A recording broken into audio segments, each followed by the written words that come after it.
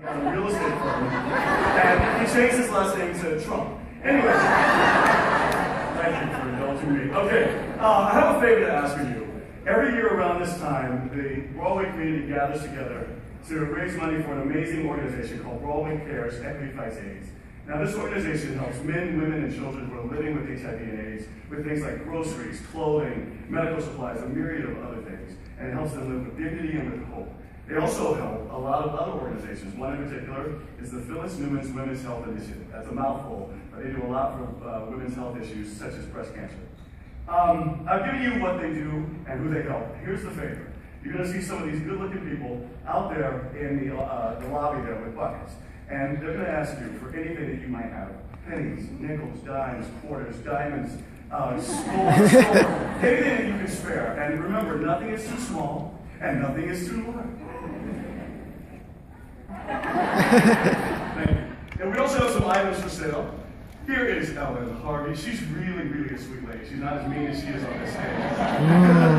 and uh, we have posters that's signed by the entire cast, and that's going for $40. We have Carols for a Cure. It's a CD that just came out, and uh, the Broadway shows have put uh, their stamp on holiday songs. This is going for $20. It's really good for uh, right in time for the holidays. This is a lapel pin. what?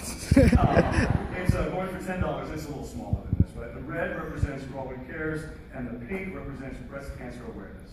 And out of all the items that you're going to buy, you're going to put them in this tote bag. and this is going for $10. This shows people that you came to the the Opera. Now, I have a question to ask you. Do you like, or did you like, the monkey that was on stage? Aww. Come on. Yeah, go back. this monkey is very special to us. Um, it, it plays masquerade. It also does the little hand gestures with the cymbals and everything. We're going to sell this. I'm going to sign it, and we're going to sell this for $500. Now, don't let that scare you because everything is tax deductible.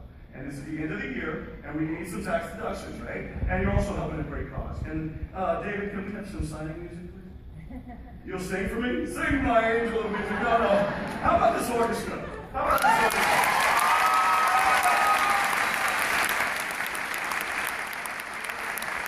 You know, I get to sit in the angel and I'm, hiding in the cross and I'm on stage a lot and you don't see me. So I get to listen to this orchestra every night. I'm so, and, and sometimes things pop out every once in a while. Like, oh man, I didn't know that was in it. It's really, really great. So we're, we're honored to be uh, performing with you. Thank you so much for giving your weekend. Yeah.